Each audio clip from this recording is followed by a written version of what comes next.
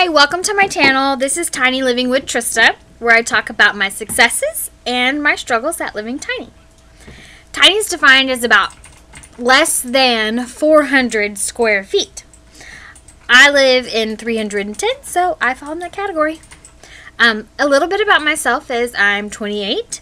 I live in Texas, and I'm not married, and I don't have kids. I do have a boyfriend who lives with me in our tiny house.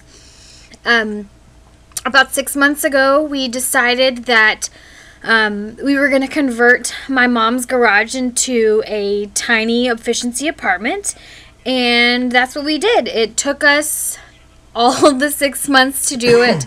there were some struggles at doing it ourselves, and um, but it has turned out fabulously, and we are enjoying every second of it.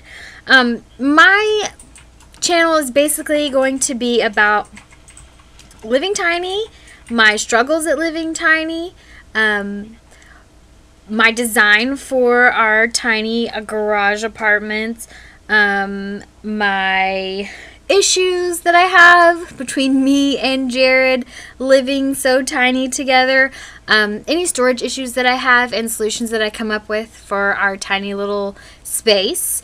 Um, my first video is just to kind of say hey to everybody and let you know that I'm out here.